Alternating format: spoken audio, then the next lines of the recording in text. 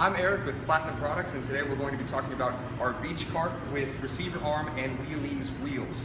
Uh, you have everything here that you receive with the purchase of our beach cart. You have the handle, the foot, the receiver arm, axles, the axle, the quick connects, and your Wheeleez wheels. Uh, today we'll be talking about uh, the assembly of this beach cart some people have uh, had some questions, uh, particular customers having uh, maybe some problems with the assembly part of it, so we just want to clarify a few things so it's easier for you once you obtain it and you'll have no problems. So we have the beach cart itself. Uh, we'll talk about the assembly of the axle and the Wheeleez first.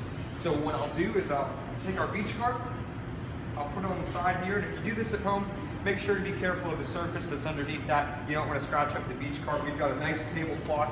We'll take our axle and our Wheeleez wheels. Here's where most of the confusion comes from. Uh, we have the axle, we have the Wheeleez, and uh, some people have had some problems before. What you want to do is take your axle, put it in your Wheeleez, and push it until you hear that snap. If you don't hear that snap, and if you pull on it, if it comes off, it's going to come off once you put it on the beach cart. So that's going to make it quite difficult. Uh, if, if you don't hear the snap when you push it in, and if it comes out, you'll take this part right here, uh, it's spring loaded, and you'll turn it counterclockwise about a quarter turn, and you'll take it out. That's how you would uh, completely take the axle out. But if you don't hear it snap in, turn it, push it in, and again, let it go, pull on it.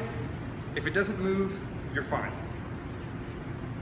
Take your axle, push it through these axle mounts, all the way through. You'll take your other Wheeleez, take it to the other side. Nice firm grip on your axle. Push it in until you hear that lock. And again, if you can pull on it, if it comes off, try to do it again. Try to turn that spring-loaded piece. But if you push those apart and they don't come off, you're fine. That's exactly how the way it's supposed to go. We'll turn it onto the side here. And the next thing we'll do is our foot. We'll take our foot piece and we'll take our first quick connect piece. Both pieces. Take this, push this onto the bottom.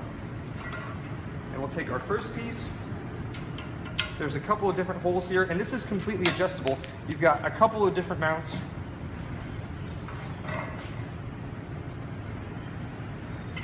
You want to line it up completely with the mount here. Takes perfect alignment, push it through both holes, take your pin, push that through.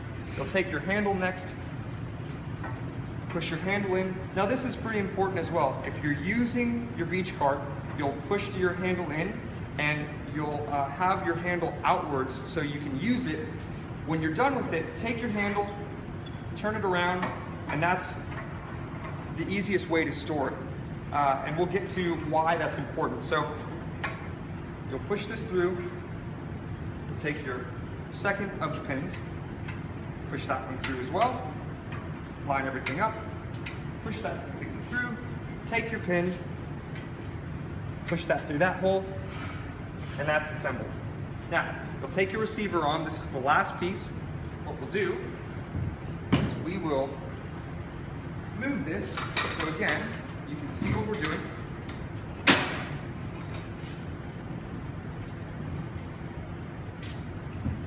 Take the receiver arm.